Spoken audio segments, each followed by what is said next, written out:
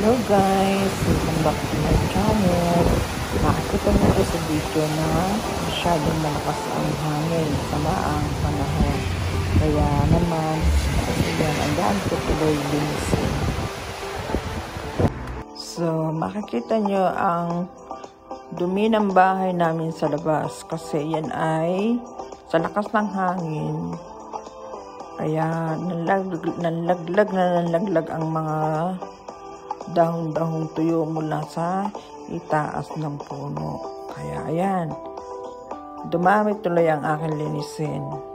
Hindi naman pwedeng wawalisan lamang dahil yan ay madumi. Kailangan hugasan ng tubig na may sabon.